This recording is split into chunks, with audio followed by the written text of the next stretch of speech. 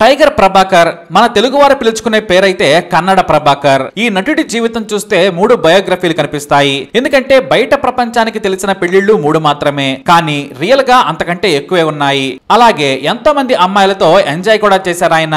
మద్యం మగువ ఆయనకు ఇష్టమైన వ్యసనాలు. అది ఆయన కెరీర్ నే కాదు జీవితాన్నే మార్చింది. పద్నాలుగేళ్ళకే నటుడిగా కెరీర్ను మొదలుపెట్టిన ప్రభాకర్ ఆ తర్వాత విలన్గా హీరోగా నిర్మాతగా దర్శకుడిగా సినిమాటోగ్రఫర్గా మ్యూజిక్ డైరెక్టర్గా ఒకటేంటి?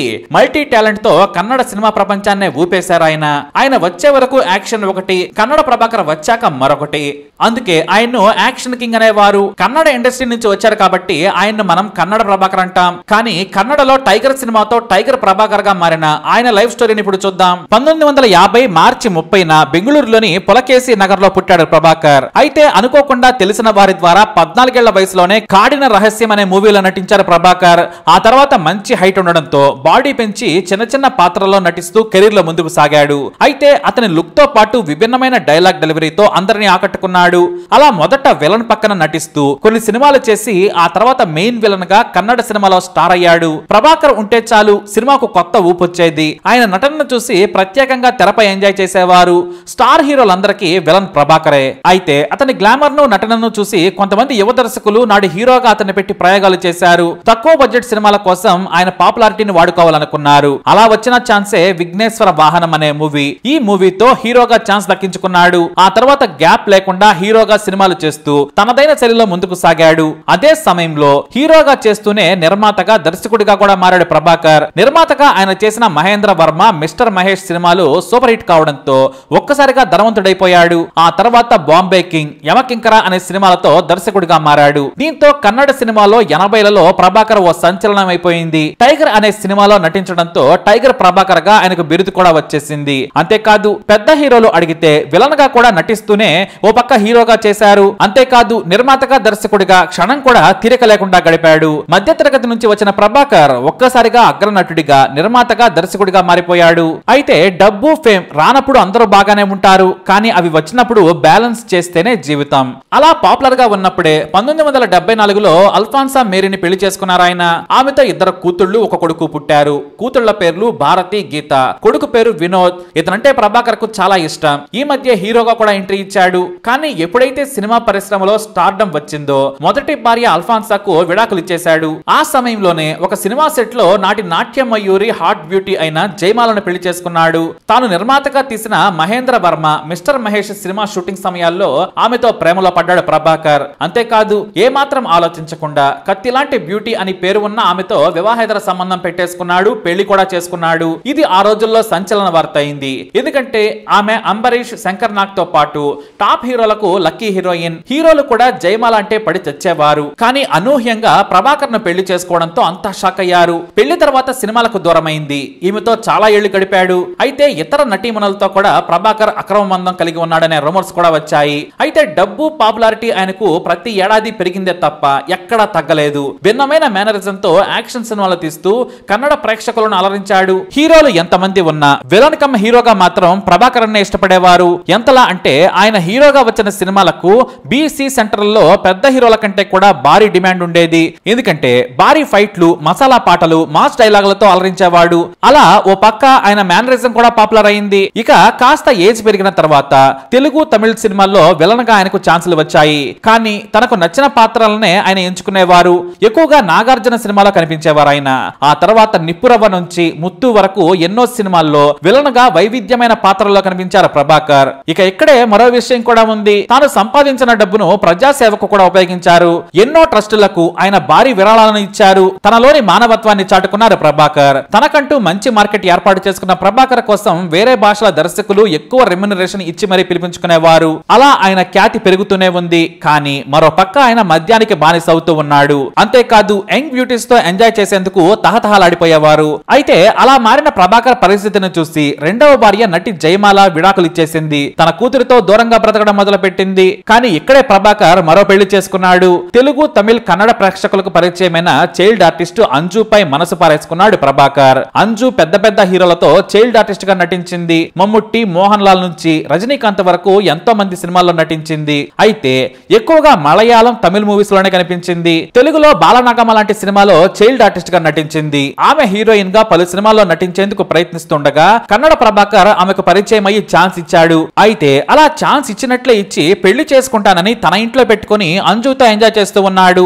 అప్పటికి ఆమె వయసు కేవలం పదిహేడేళ్ళు మాత్రమే. మద్యం తాగుతూ శృంగారం కోసం తప్పించే ప్రభాకర్ గురించి ఆ తర్వాత అంజుకి అసలు విషయం తెలిసింది. ఇంతకు ముందే ఇద్దరితో పెళ్ళైందని వారితో నలుగురు పిల్లలు ఉన్నారని తెలుసుకుని నిలదీసింది. దీంతో ఇద్దరి మధ్య గొడవలు జరిగాయి. ఆమె అతన్ని వదిలేయాలనుకున్నా కూడా అప్పటికే గర్భం దాల్చింది. ఓ కొడుకు కూడా పుట్టి కొట్టాడు. దీంతో ప్రభాకరన్ మీద కేసు పెట్టలేదు. తనను మోసం చేసి పెళ్ళి చేసుకున్నాడని తెలిసి కన్నీరు మున్నీరైంది. ఆమెతో రాజీ చేసుకున్నాడు ప్రభాకర్. ఆ తర్వాత తన కొడుకుతో కలిసి అంజు చెన్నై వచ్చేసింది. చిన్న వయసులోనే ప్రభాకర్ మోసం చేసి జీవితాన్ని నాశనం చేశాడని అంజు ఇప్పటికీ పలు ఇంటర్వ్యూలలో చెప్పుకుంది. కొడుకు కోసం ఆమె తన జీవితాన్ని త్యాగం చేసింది. కానీ ప్రభాకర్కు అప్పటి సీఎం రామకృష్ణ హెగ్దేతో మంచి సన్నిహిత సంబంధాలుండేవి. ఎన్నో సేవా కార్యక్రమాలు చేశాడు. సంపాదించిన డబ్బులో కొంత ఖర్చు పెట్టి పేదలకు దానం చేశాడు. పలుమార్లు హెగ్దే స్వయంగా ప్రభాకరన్ను ఎమ్మెల్యేగా పోటీ చేయమని ఆహ్వానించారు. తనకు బాగా తెలిసిన శివాజీ నగర్ అయినా లేదంటే తాను నివసించే బనశంకరి నియోజకవర్గమైనా పర్వాలేదు తాను టికెట్ ఇస్తానని ఆఫర్ చేసిన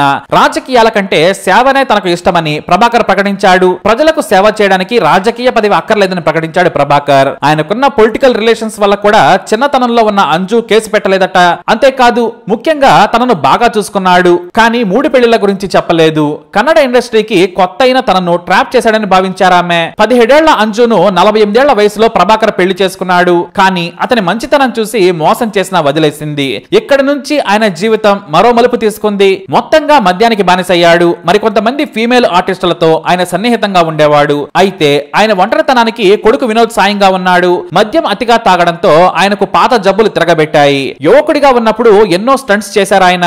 స్టంట్ మాస్టర్గా కూడా కొన్ని సినిమాలకు పనిచేసి డూప్ లేకుండా యాక్షన్ చేశారు. అలాంటి సమయంలోనే బైక్ పై నుంచి వేగంగా వెళుతూ జంప్ చేసే సీన్లలో నటిస్తుండగా ఆయనకు తొడల్లో గాయాలయ్యాయి. అవి నలభై తొమ్మిదేళ్ళ వయసులో తిరగబెట్టాయి. మరోవైపు మద్యం సిగరెట్లతో లంగ్స్ పాడయ్యాయి. లివర్ కూడా దెబ్బతింది. వీటికి చికిత్స చేసుకుని ఆయన కోలుకున్నట్టే కోలుకున్నారు. ఆ సమయంలో మేజర్ అనే సినిమాను కూడా సగం పూర్తి చేశారు. ఆయన రెండు కాళ్ళను తీసేయాలని డాక్టర్లు సూచించారు. లేదంటే చనిపోతామని చెప్పారు. కానీ అందుకు ఆయన ఒప్పుకోలేదు. కాళ్ళు లేని ప్రాణం నాకు అక్కర్లేదనుకున్నారు. పంతొమ్మిది వందల తొంభై ఎనిమిది వరకు ఎంతో చురుకుగా సినిమాల్లో నటించిన ఆయన గ్యాంగ్రీన్ వచ్చిన తర్వాత ఒక్కసారిగా షాక్ అయిపోయాడు. కాళ్ళు తీసేయాలన్నారు. డాక్టర్లు ఎంత చెప్పినా వినలేదు. పైగా మద్యం ఆయన తీవ్రమైన డిప్రెషన్లోకి నెట్టింది. అప్పుడు ఆయన వెంట ఉంది తనకి ఇష్టమైన కొడుకు వినోద్. తండ్రి కోసం ఎంతో చేశాడు. అయితే కిడ్నీలు కూడా ఫెయిల్ కావడంతో మార్చి ఇరవై ఐదు రెండు వేల ఒకటిన ఉగాది రోజున బెంగళూరులోని మాల్యా ఆసుపత్రిలో చనిపోయాడు కన్నడ ప్రభాకర్. ఆయన చేసిన సేవా కార్యక్రమాల గురించి ఏనాడు పబ్లిసిటీ చేసుకోలేదు. కానీ ప్రభాకర్ చనిపోయాడని తెలియగానే ఆయన సాయం పొందిన అనాథాశ్రయాల నుంచి ట్రస్టులు వృద్ధాశ్రమాలు అందరూ బయట బయటకు వచ్చి చెప్పుకుంటే అంతా షాక్ అయ్యారు. సమాజం పట్ల ఆయన బాధ్యతగా ఉండేవారు. కానీ నిజ జీవితంలో దారుణంగా ఫెయిల్ అయ్యారు ఆయన.